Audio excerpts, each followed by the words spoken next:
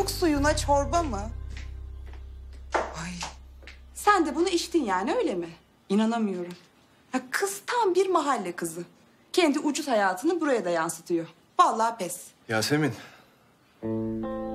Kız elinden geleni yapmış. Ayrıca mis gibiydi çorba. Yani haksızlık etme bence.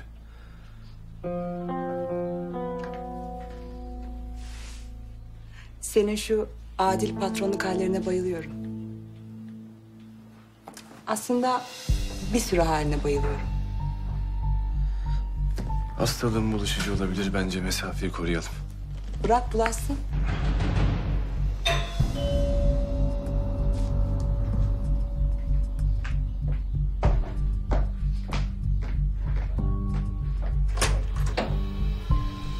Merhaba. Ay yine mi sen Yasemin'cim?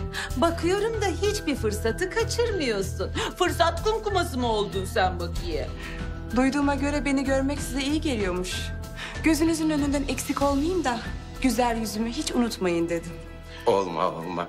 Ee, hanımlar hemen tepkimeye giriyorsunuz. Yani bir araya gelince nükleer bir tehdit oluşturuyorsunuz. İkinizi de Birleşmiş Milletler'e şikayet edeceğim. Ay Necmi yine haber kanalı açıkken uyudun sen değil mi? Ay aman neyse ne.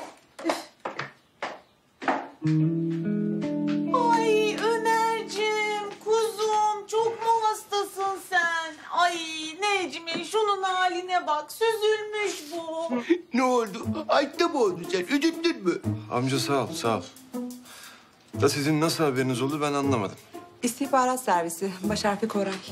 Efendim? Hayatım ben senin yengenim. Ben nasıl hissetmem? Hissederim ben. Hissi kabler vuku oldu. İstikabler vuku mu, istikabler Koray mı? Aa, ah, bir şurada hasta yeğenimle ilgilenemiyorum yani sayende Necmi. Defne nerede tatlım? Böyle bırakıp gitti mi seni? Hayır sabah buradaydı. Yani çorba yaptı bana güzel güzel baktı. Sonra izin verdim gitti. Ben gelince kendisine pek gerek kalmadı tabii. Aa, ay Yasemin'ciğim. Şimdi de biz geldik. Sana gerek kalmadı. Hadi sen git hayatım. Git. Biz bakalım artık ailesi ilgilensin.